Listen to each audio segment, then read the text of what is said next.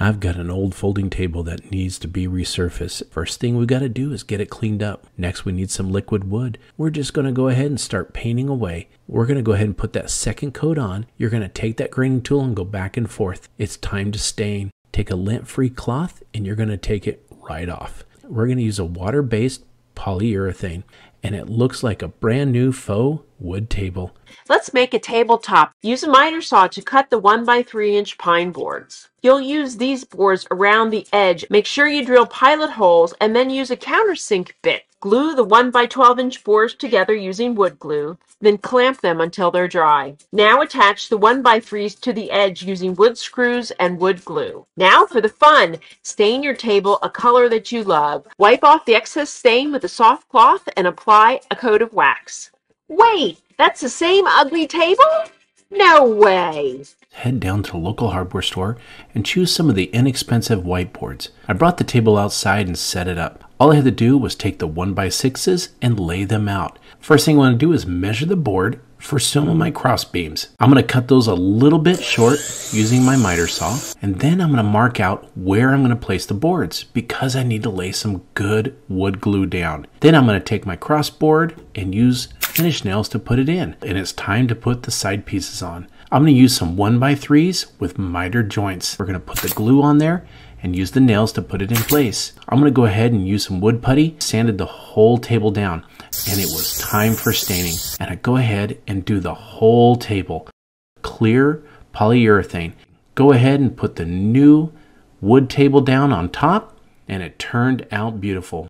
The first step to any good refinishing project is sanding. Go ahead and take a microfiber cloth and wipe down the surface. I went ahead and gave it a coat of primer. And I'm going to use this to paint the base of the table, the side of the table, and also the chairs. Now I'm going to start with my darkest color.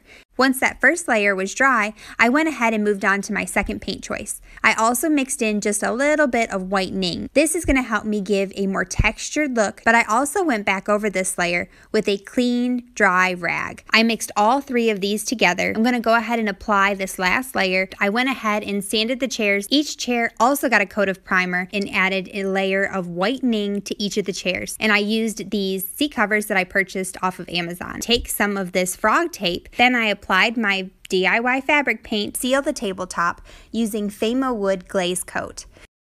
And that's it, y'all. I'm so happy with how these turned out. Let's head down to our local hardware store and grab a pre-made round tabletop and set a planter on top. We need to draw a circle around the edge. Next, we're going to grab some Jenga pieces. We got to measure them out. We're going to glue these down all over about four to five inches around. We're going to put this wood stain on going with the grain of the wood. Just wipe it with the grain of the wood. Now it's some clear polyurethane, but this is going to seal the wood. It's just mix the two parts of the epoxy together. We also need some color. Just lay that clear stuff right out and mix it all down with the stir stick. Next, it's time for turquoise. We're going to make sure that we rub it all over the board. Next, we're going to take some white.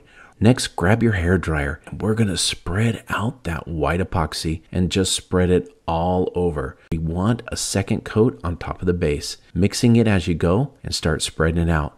And you can use it for storage for blankets in the living room. Go ahead and put your tabletop on, so shiny and so clean.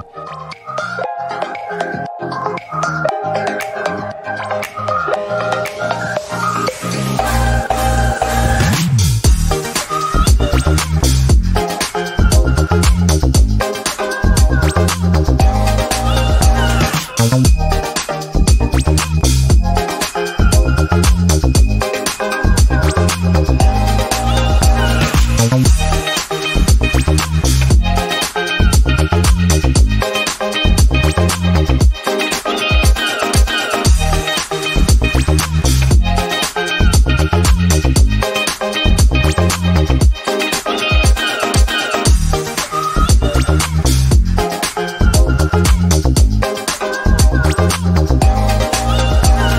don't